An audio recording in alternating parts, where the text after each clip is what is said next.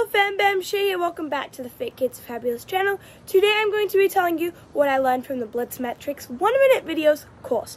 I really recommend this course to people who would like to learn more about how to create 1 minute videos because I definitely learned a lot. I learned um, on how to prevent video blocks and also great ways to film a video.